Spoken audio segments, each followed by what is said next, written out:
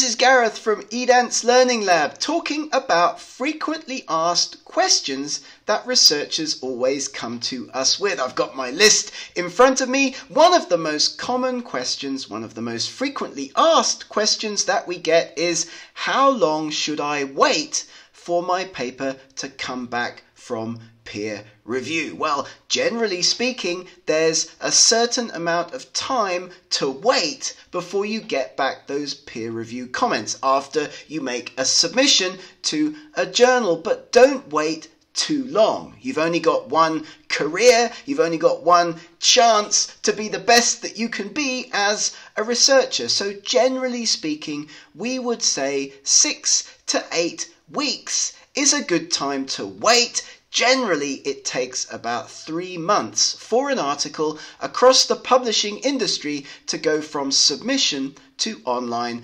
publication. So don't wait too long. Don't wait, communicate. We can give you templates that you can use to write to journal editors after about six to eight weeks. And always be polite, always be constructive, always try to give something back to the editor. Always try to help your journal editor with your inquiry. Don't say, hey, where's my paper? I need to know.